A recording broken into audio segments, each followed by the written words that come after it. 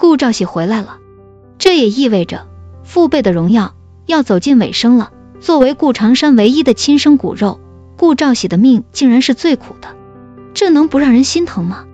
都说善有善报，顾长山做了那么多的好事，不是帮助别人养孩子，就是帮他人找工作的，怎么到头来自己的孩子反而是受伤害最大的那个人呢？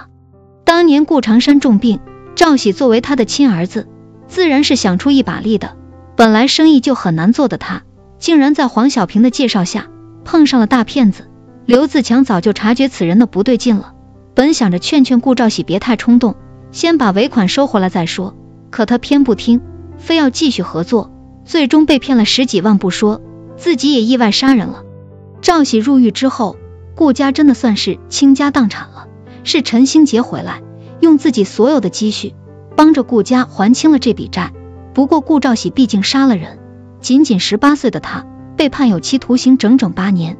本以为这段时间会很漫长，谁曾想不过眨眼的光景，就到了顾兆喜出来的日子了。似乎是在监狱中表现良好，顾兆喜提前一年就被释放了。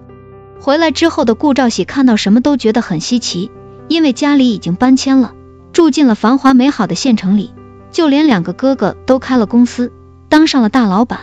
还有他心中的白娘子凤琴也成了省级干部，顾兆喜是开心的，同时也是非常羡慕的。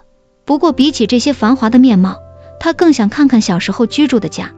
村子里的人几乎都搬走了，只剩下爷爷一个人在山上种树。兄妹五个人愣是带着一大堆的食材去找爷爷叙旧了。看到他们在饭桌上回忆小时候的趣事，别提有多温馨了。不过顾兆喜别扭的筷子姿势。还是忍不住让人红了眼眶。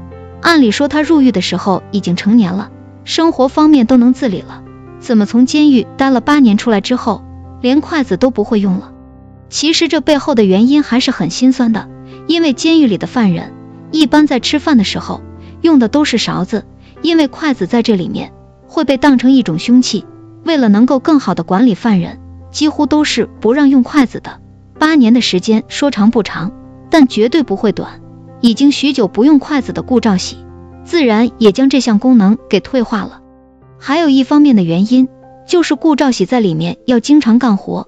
还记得他出来的那一天，母亲还专门看过他的双手，布满了茧子不说，还沧桑的如同七十岁老人一般，这能不让人心疼吗？那双手也不知道做了多少苦力活，才变成如此不堪的模样。试问这种一双手，能好好攥紧一双细细的筷子吗？事实证明。父辈的荣耀还是很细节的，几乎很少有影视剧能把一个刚刚刑满释放的犯人演绎的如此真切。